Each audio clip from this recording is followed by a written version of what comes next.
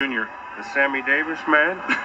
I mean, like, you're just a real cool cat, man, for doing this for me. I mean that. and I really do. And I just want to thank all the people in New York, man, because it's just been a really gas of a time for me. You know what I mean, man? I can dig it, babe.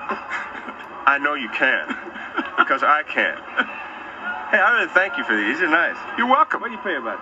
90 bucks for these? Oh, we won't get into that. Thanks a million. All right. How about Keith Jackson? One more Jackson? time. Yes. Okay, here we are, everybody. We're here at the LCS playoffs, and I'm Keith Jackson along with my co-host, Tim McCarver. What do you got to say about that, Tim?